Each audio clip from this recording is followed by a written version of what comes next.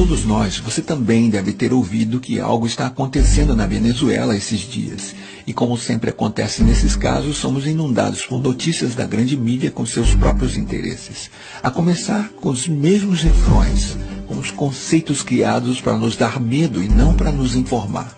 Surgem rapidamente palavras como repressão, ditadura, censura. Mas, como já estamos acostumados, os interesses de oligarquias, dos banqueiros, do Império Norte-Americano estão por trás dessas notícias. Vamos tentar fazer uma leitura mais profunda e entender o que realmente está acontecendo na Venezuela. É muito importante dar uma olhada na geopolítica. A primeira coisa que temos para saber é que a Venezuela tem as maiores reservas de petróleo conhecidas no mundo. Mas vamos entender melhor o que está acontecendo na Venezuela se dermos uma olhada para o seu vizinho do norte, para os Estados Unidos. A sociedade americana é uma das maiores consumidoras dos derivados de petróleo do mundo. Primeiramente, no que diz respeito à gasolina, eles têm a mais alta taxa de carros por habitante do planeta. E obviamente existem outros derivados, como plástico, roupas, cosméticos. Para sustentar essa sociedade dependente de petróleo, os Estados Unidos têm que importar 60 dos 100 barris que consomem. Vamos tentar dar uma olhada um pouco mais ampliada de onde vem o petróleo que é consumido nos Estados Unidos.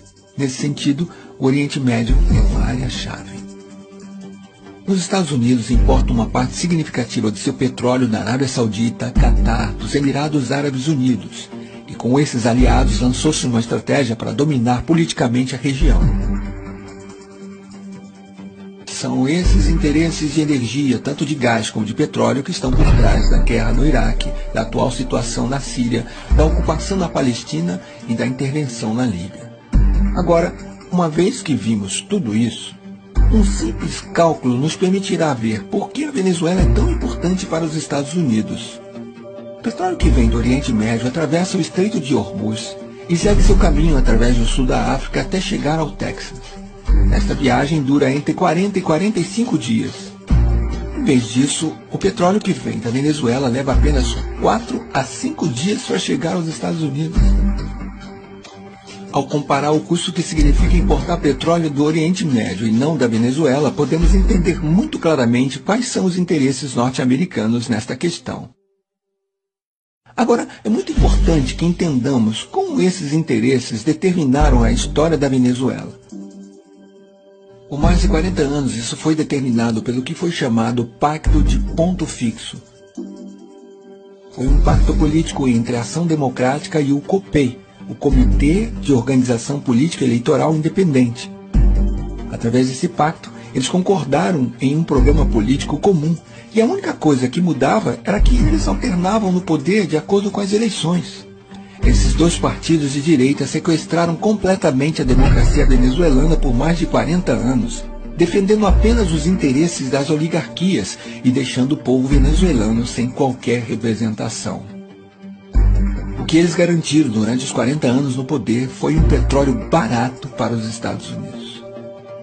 Isso causou muita pobreza ao povo que começou a se manifestar cada vez mais forte. Em fevereiro e março de 1989, essas manifestações já atingiram seu pico, até que foi chamado de Caracasso.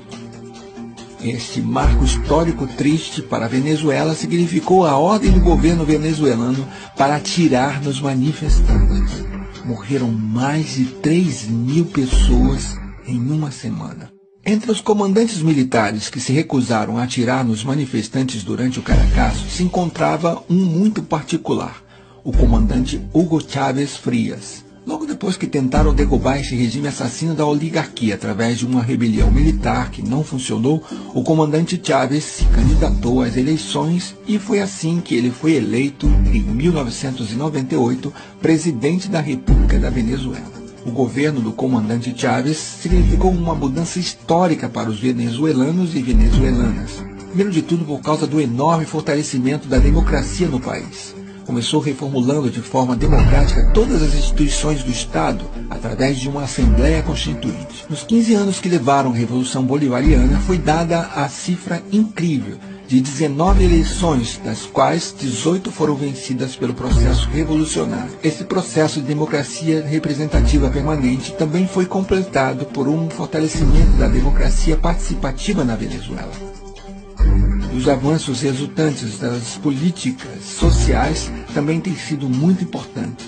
A pobreza passou de 54,2% em 95 para 23,9% em 2012.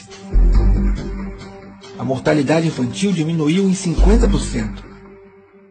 A saúde e a seguridade social somam atualmente 21% do orçamento do Estado venezuelano. As matrículas universitárias foi de 800 mil para 2 milhões e 600 mil atualmente.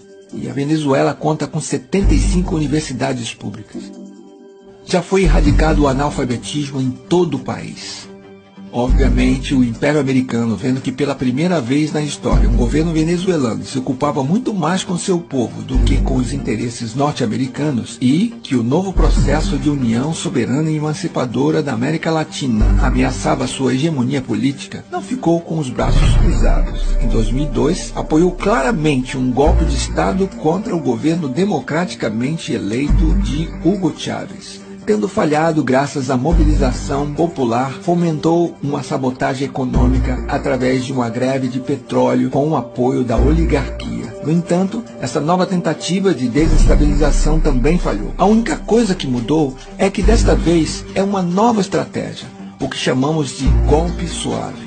O primeiro passo é a guerra econômica por mais que se tenha feito muitas mudanças na economia venezuelana, o país ainda depende muito das importações para satisfazer as suas necessidades básicas. E a mesma oligarquia que historicamente criou essa situação está tentando se aproveitar agora dela. Por um lado, alguns industriais ligados à oligarquia, que quer acabar com o processo bolivariano, está tentando criar escassez de produtos básicos para criar descontentamento na população. E do outro lado, alguns setores importadores que também querem acabar com esse processo estão especulando com dólares em vez de usá-los para importar produtos de necessidades básicas para o país. Isso demonstra mais uma vez o cinismo da oligarquia venezuelana disposta a tudo para voltar ao poder. Agora vamos ver o segundo e talvez o mais importante dos eixos do golpe suave. Este é a manipulação midiática.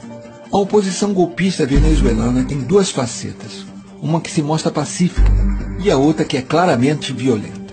E certos meios de comunicação, tanto na Venezuela como no exterior, se converteram no eixo central dessa estratégia de golpe suave ao manipular de forma totalmente vergonhosa os fatos que estão acontecendo na Venezuela, eles querem fazer o mundo acreditar que o governo venezuelano está reprimindo duramente simples manifestantes pacíficos. Mas esse roteiro nós já conhecemos e não cairemos mais facilmente nessa armadilha. Se olharmos um pouco mais para a história desses últimos anos da América Latina, nós percebemos que os Estados Unidos e as oligarquias não ficaram de braços cruzados na frente dos movimentos progressistas. Primeiro foi a tentativa fracassada de golpe na Venezuela em 2002.